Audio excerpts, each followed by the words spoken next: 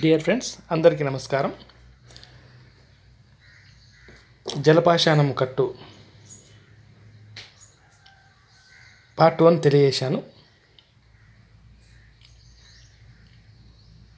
అది మైలుతుత్తం పెరుగులో శుద్ధి చేసుకున్నది. Number one quality తీసుకొచ్చుకోండి.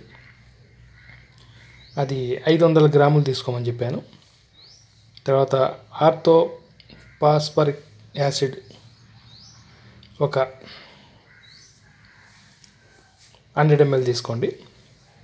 ఇంతకుముందు నేను ఫిఫ్టీ ఎంఎల్ తీసుకోమని చెప్పాను హండ్రెడ్ ఎంఎల్ తీసుకోండి. Phenol crystal hundred ML. ఒక గాజు పింగాణంలో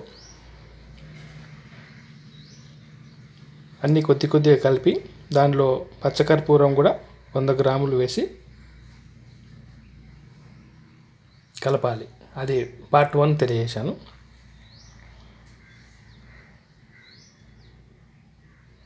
తర్వాత పార్ట్ టూలో ముద్దకర్పూరము కూడా నూట నలభై గ్రాములు తీసుకోండి. పద్నాలుగు తులాలు. కలిపితే అది కూడా తీసుకొని దీంట్లో కలపండి. బోరసెల్ బీకర్లో అయినా సరే ఒక జార్లో అయినా సరే ఇది తీసుకొని చేసుకోండి.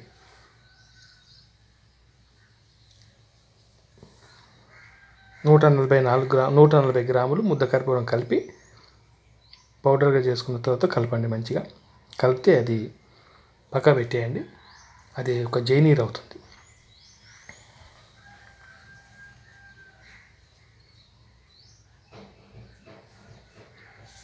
ఈ జైనీర్లో ముందు మీరు మైలుతుత్తం పేల్చుకున్నది ఐదు వందల గ్రాములు ఉంది కదా? ఆ ఐదు వందల గ్రాముల మైలుతుత్తాన్ని ఈ జైనీర్తో బాగా ఒక ఐదు గంటలు మర్దన చేయాలి.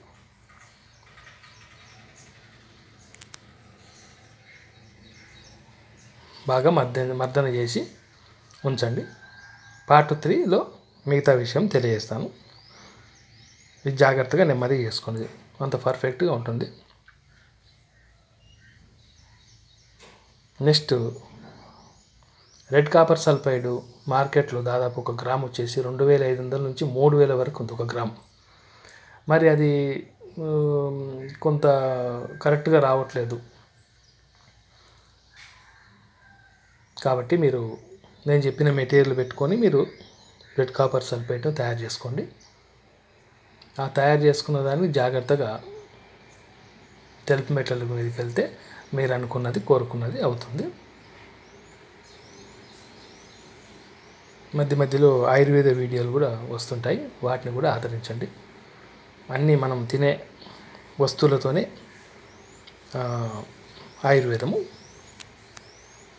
కొన్ని మూలికలతోని కొన్ని మనం తినే ఆహార పదార్థాలతోనే కొన్ని తినే వస్తువులతోనే ఆయుర్వేద మూలికలు తెలియజేస్తున్నాను. వాటిని కూడా ఆదరించండి. అందరికి కూడా నమస్కారం. మరొక మంచి వీడియోతో మీ ముందుంటానని తెలియజేసుకుంటున్నాను. ఓకే మిత్రమా థ్యాంక్ యూ.